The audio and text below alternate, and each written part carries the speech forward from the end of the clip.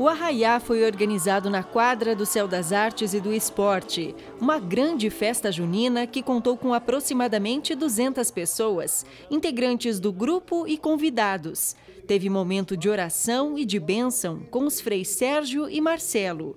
Depois, parte do grupo se apresentou.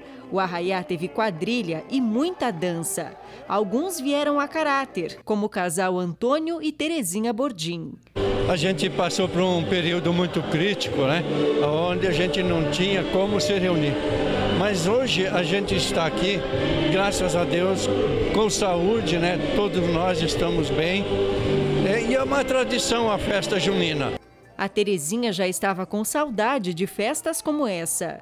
Mas é uma alegria muito grande, Caroline, porque a gente às vezes está em casa vontade de vir. Ah, eu acho que hoje não vou. Ah, não, mas eu vou. Aí a gente chega aqui, nossa, a gente fica tão feliz, porque é uma família, uma família muito linda. A Ed participa do grupo há vários anos. Ficou feliz da vida em poder vir celebrar com os amigos. Saudade, muita saudade.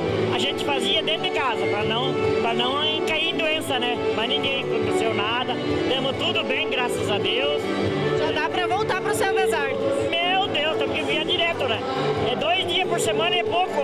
A festa junina está no calendário do grupo. É praticamente uma tradição.